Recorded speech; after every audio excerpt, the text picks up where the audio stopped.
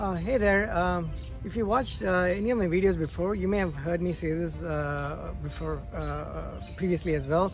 This is certainly not the first time I'm going to say it. Uh, there, you know, all of us who publish on YouTube are looking forward to people watching what we do, right? It's it actually gives you some, not some, a lot of satisfaction if somebody does watch what you do.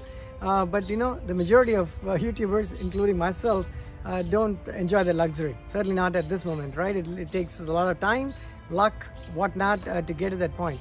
And while you do that, you see other people post content and it that receives a lot of attention and views and you're wondering why. Um, sometimes uh, you're, you learn from it, other times you're just jealous. And if you have to put a number, 2% of the time you learn from it, 98% of the time you're just jealous. There's no hiding from that fact, right? So I watched something yesterday uh, where the dude actually is on a plane and then he explains how they serve food on a plane, how you open up a tray and then you eat the food.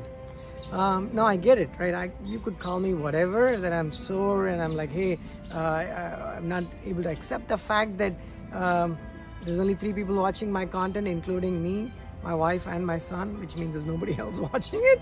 Uh, that aside, I get it. I understand point taken, right? Uh, someone's got to explain to me why you might want to even do a video. Of course it's your choice but just you know hypothetically speaking or whatever thinking aloud why do you want to do a video where you show how food is served on the plane? Uh, this has to be addressing people who've not been on a plane right? So you're trying to explain what it means to be on a plane. But if you were to do it even then right even if you your honest aim is to actually explain to folks who've not had the whatever, right?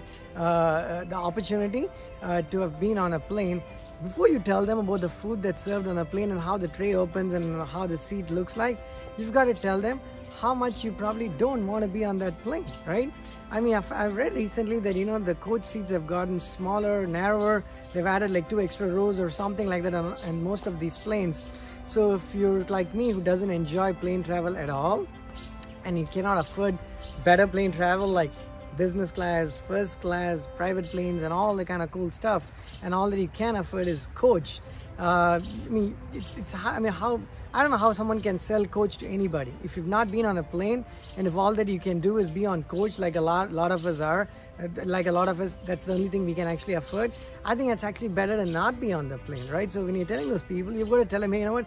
You're actually blessed because you don't have to be on the plane. You don't have to be sitting where I'm sitting right now.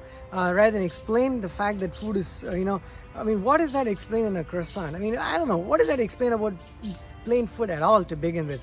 It's a bad question. I'm sure there's 50,000 ways that you can do it and there's better ways to doing it. Yada, yada, yada, all said and done.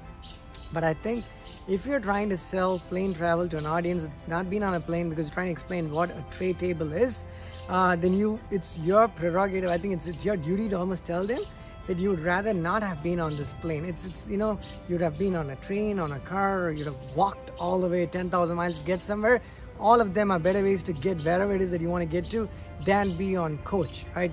if you think otherwise let me know. Let me know why coach travel is so great right? Anyways um, this video just like a lot of the others that I do is not going to make a lot of sense but what the heck right? If you watched it uh, that means you didn't have anything else to do anything better to do anyways so thanks for watching. Uh, and if you went on a plane that did not have a tray table then you should post a video because yeah I would like to know about that but if it does don't be don't even bother right let's I mean we've got other things to do um, Talk to you soon and, and remember to manage your projects on snowpal.com even if you do not like this video. Thank you.